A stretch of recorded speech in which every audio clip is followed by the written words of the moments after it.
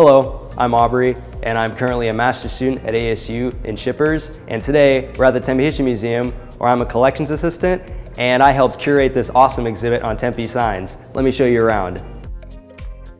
So this sign right here of an old bank is my personal favorite, but it's just one of many old signs that we have from all of Tempe's history. And the best part about curating this exhibit was being able to show off the pieces of the roots of the community. So, the exhibit opens in mid-September. Why don't you come on down and check it out for yourself?